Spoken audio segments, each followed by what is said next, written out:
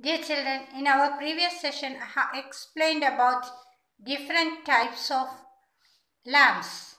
Among them, I have briefly, briefly explained two types of lamps. That is, discharge lamps and fluorescent lamp. How it works, its functioning also have explained and also have explained about filament lamp. Right? So three types of lamps explained filament lamp or we call it incandescent lamp. And next explained about discharge lamp that is sodium vapor lamp. And the color of light will be uh, depending on the gas which fills filled in the tube isn't it? And then I explained about fluorescent lamp. Okay? And now I'll, I would like to show you these three types of lamps. Okay, example, uh, three types of bulbs I have here and I will uh, would like to show it to you. For that, here this is the filament lamp. Okay, example for filament. This is the filament lamp. You can see a filament inside the bulb. You can notice a very thin wire that is hanging down. This is broken one and this broken you can see a filament the very thin narrow spring hanging down which is broken from the two copper wires you can see and one end of this filament is fitted there uh, with the copper wire and the other end, end is broken and it was fitted on the other copper wire. You can see inside that copper wire is going through that glass. Then it is it will be connected. The end of this copper wire will be connected at these two points. Here you can see. And when we uh, fix it to the holder, the full complete circuit will be uh, circuit will be completed okay? And here it is the fuse uh, one and it is broken. The uh, filament is broken inside you can see. And this is filament lamp. Okay? And what is that filament made up of? Yes it is the filament of this bulb is made up of tungsten tungstenite right? And why tungsten uh, is used for making filament of bulb? That also we have discussed now, another type of lamp I told is fluorescent lamp, isn't it? And here you can see the example CFL, it is fluorescent lamp. Here, the fluorescent lamp I told you the tube light, isn't it? The golden days long tube we were using to make it compact. It is made by the spiral and the length of the tube is reduced by making a spiral or this shaped, okay? And this is fluorescent lamp. This is CFL. Okay. CFL lamps are fluorescent lamps. And the functioning also is same as the fluorescent. You can see the white color of the tube. Okay. And inside this tube, white coated fluorescent material is coated inside the wall of this vessel. Okay. And this tube. And that's why this white color. White, it is very uh, white in color and the uh, length of this length of the tube is reduced by making a U shape by giving U shaped tube and then next is LED you can see. Okay this I am going to explain today about this bulb. I am going to explain today what are the parts of LED bulbs. That is what we have to see. Okay and here this part we will fix to the holder okay? And you can see it is not made of LED and what are the parts I will show you. And you can see inside this bulb there is no filament at all okay? This is uh, there is no filament at all. Why it is uh, what is the use of it uh, without the filament? What is um, use? Uh, if there is no filament uh, the heating effect the heat loss can be reduced okay? So we will learn more about this kinds uh, this kind of leds today. Leds are light emitting diodes okay? Uh, diodes light emitting diodes are connected in series in this bulb okay? And if one get fused uh, damaged, full bulb will not glow. Okay, but there are advantages of LEDs over incandescent bulb. Okay, so what are the advantages? Let us discuss now. This LED has no filament in it.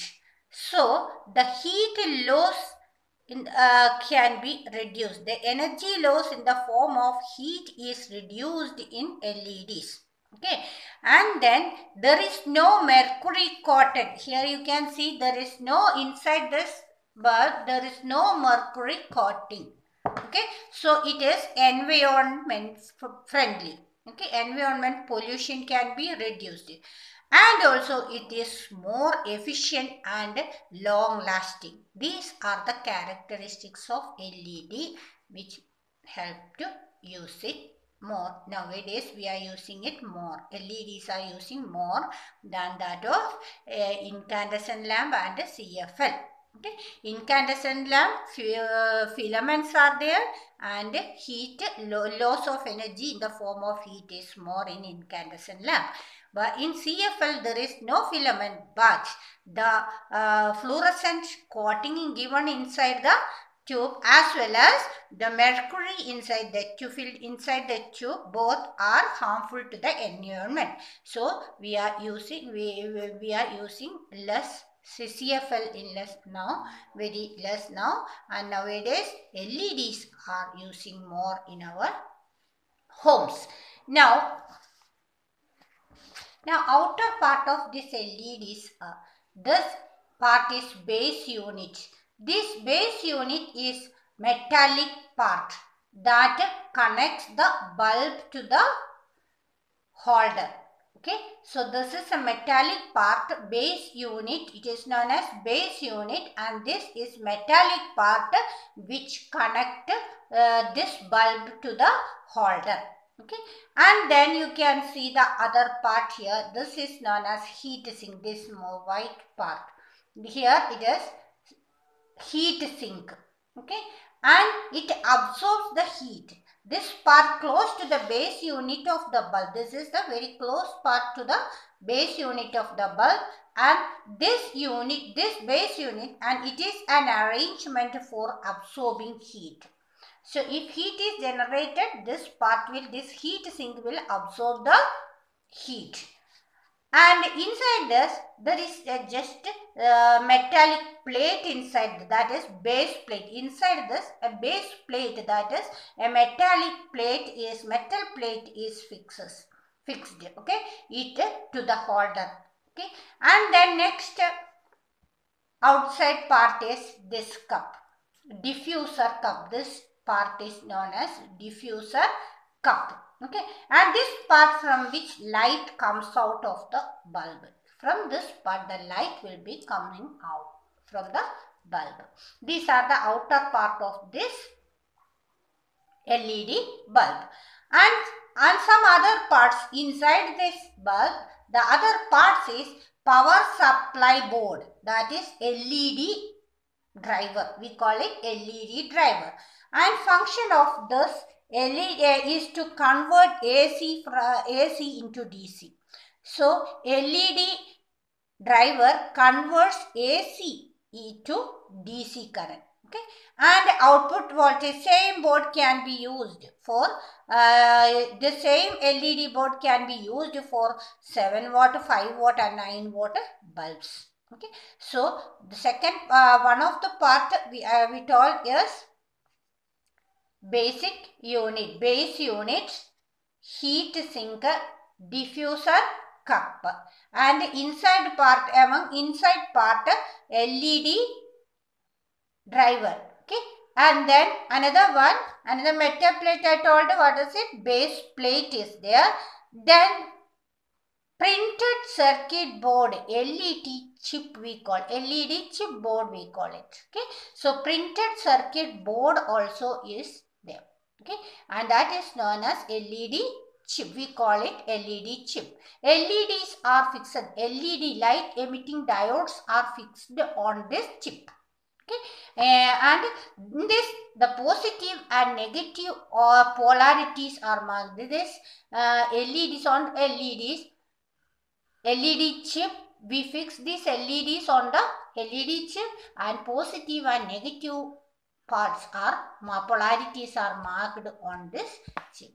Okay, and these are the main parts of light emitting diode LED bulbs.